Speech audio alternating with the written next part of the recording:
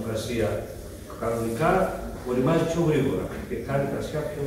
ή οι ποικιλίες που ε, ήταν εδώ δεν ορίμαζαν, τώρα θα οριμάζουν. Αυτό συμβαίνει, αν δεν συμβαίνει κάθε χρόνο, δεν είναι μια απλή τέτοια προσέγγιση. Οι, οι ποικιλίες που έχουν εμείς τα ελληνικά προϊόντα στην Ελλάδα, ε, έχοντα πάνω από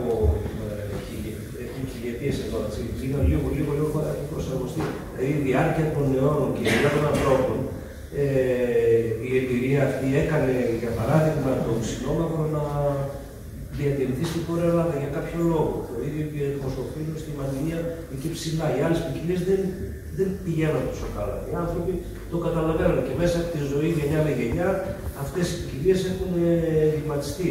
Γι' αυτό είναι ισχυρές και στο, στην κλιματική αλλαγή οι τοπικές ποικιλίες, οι γενεί για να τις να τις δει κανείς να τις ε, φτιάξει. Και είναι ασύμφορα βασικά εμπορικά. Έτσι. Πέρα αυτό που λέμε ότι είναι ένα σύμβολο πρέπει να δοθούν και κίνητρα για κάποιους παραγωγούς ή για κάποια παλιά παιδιά να έστω να συντηρηθούν μια βοήθεια.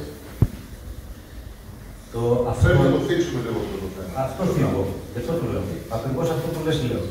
Ε, ε, αυτή τη στιγμή ε, υπάρχει, ε, ε, θέλουμε να βάλουμε μέσα στα κριτήρια ε, να μπορέσουν να, γίνει, να γίνει αυτή η διάσωση των άτομων. Δηλαδή, ε, είναι, είναι πραγματικά αυτό πολύ σημαντικό. Γι' αυτό μίλησα και για, και για μέλη που δεν είναι δικά μας ακόμα.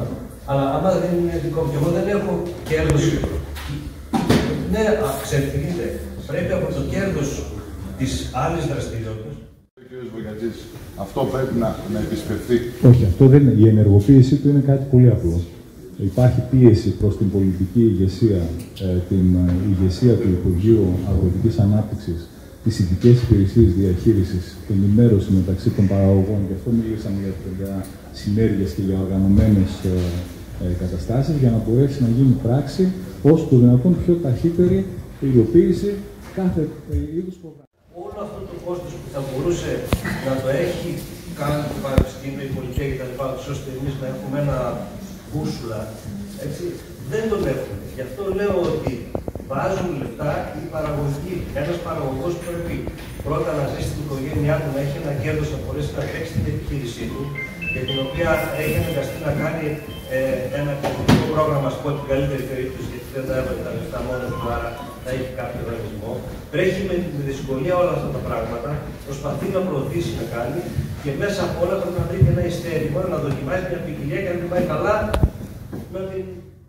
ποικιλίες που πραγματικά δεν έχω Μιλάμε για την ανάδειξη, γιατί πρέπει να γίνει, υπάρχει δρόμος, σωματική δουλειά και ίσως μεγαλύτερη μπορούμε να βοηθήσουμε λίγο παραπάνω, τουλάχιστον αναλογικά με τον όγκο, ε, που ίσως μπορεί να είναι κάποιοι μεγαλύτεροι. Θέλω να ρωτήσω, η ανάδειξη των ε, τοπικών ποικιλών πρέπει όμως καλό ή κακό, γιατί το παιχνίδι είναι στο, στο προϊόν. Πρέπει να υπάρχει πολιτικό ενδιαφέρον. Γιατί εγώ σε πολλές τοπικές ποικιλίες που γνώρισα, που είδα και στο εξωτερικό, που δούλεψα κιόλας, δυστυχώς δεν υπάρχει ενδιαφέρον ούτε αρωματικά, ούτε αναλυτικά, ούτε ε, εν τέλει ο καταναλωτής είναι αν θα το πάρει και αν θα το πιει.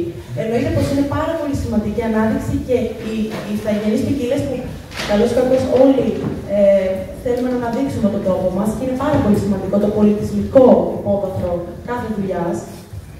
Αλλά στο τέλος δυστυχώς, και μιλάω έτσι, γιατί για κάποια πράγματα είναι δυστυχώς, πρέπει να υπάρχει εμπορικό ενδιαφέρον και για να γίνουν δεκτά κάποια πράγματα που έχουμε να πούμε. Γιατί είναι πολλά, είναι πολύ πλευρό. Γι' αυτό λέω ότι. Έχεις πολύ δίκιο. Γι' αυτό μίλησα εγώ για ρίσκο ναι. και για ζημία που έχει με ποιό. Γιατί όταν ξεκινήσει μια επειδή είναι τοπική, έτσι, και ασχοληθεί, πολλιάσει, φυτέψει, δηλαδή χρησιμοποιήσει έναν αγρόβιο που θα μπορούσε να έχει μια παραγωγική ποικιλία για να δει να βγάζει κάτι. Επίσης θα βάλει πολύ δημιουργική δουλειά στο να βρει ένα κρασί που να ταιριάζει στην ποικιλία και να μπορεί να γίνει και εμπορικό, γιατί δεν κάνει προϊόντα τα οποία δεν πουλούνται, μπορεί να το κάνει αυτό. Άρα η ανάδειξη των ποικιλιών έχει να κάνει πρώτα με τη ε, διάσωση που είναι αυτό που ο Μερκουρόπουλος, ο Ευθύνης, όλοι κάνουμε πρώτα την ταυτοποίηση για να ξέρουμε αυτή είναι, γιατί με τα συνώνυμα πολλές φορές γίνεται ένα μπέρδεμα απίστευτο μέσα στους αγρότες. Και ε, αφού αυτό, αυτό υπάρξει, μέσα αυτό που θα, κανονικά θα έπρεπε και θα θέλαμε να έχουμε, είναι να ξέρουμε ότι υπάρχουν ας πούμε, αυτές τις τοπικές ποικιλίες, που ψάχνω εγώ εδώ εκεί, να πάω σε ένα κεντρικό φυτόριο, κάπου να βρω κάποια στοιχεία, να πάρω κάποια φυτά που να είναι λίγο καθαρά και να μπορέσω να κάνω ένα πειραματισμό που να είναι λίγο πιο στοχευμένος. Τώρα δεν τα έχουμε. Νέο ενδιαφέρον για τις αγορές τους. Τώρα τελευταία βέβαια σε κάποιες περιοχές στη Γαλλίας έχει επιτραπεί μέσα στο κόπτου να επιτεθούν κάποιες ελληνικές ποικιλίες που αναφερθήκαμε και στην αρχή όπως είναι το μοσχοφίλεδο, αν δεν κάνω λάθος, και το και το ασύρτικο, σωστά, τα οποία είναι ένα 10% όμως ε, σε φυτέψεις επιτρέπουν πλέον για να υπάρχει μέσα στο κόπτο δικό τους. Αυτό που κάνουμε εμείς στην Ελλάδα χρόνια με τις διεθνείς ποικιλίες έξω από το Δύσης Ισπανία. Δεν υπάρχουν οι ελληνικές ποικιλίε. Τελευταία άρχισαν να εμφανίζονται πειραματικά, σε πειραματικά στάδια. Μέχρι στη Βραζιλία έχουν επιτευχθεί. Στην Αυστραλία κάνουν ο Τζιμ Μπάρι, κάνει αψίτικο πολλά χρόνια. Πάρα, πάρα από 15 χρόνια. Δεν είναι πολύ, δεν είναι, δεν είναι,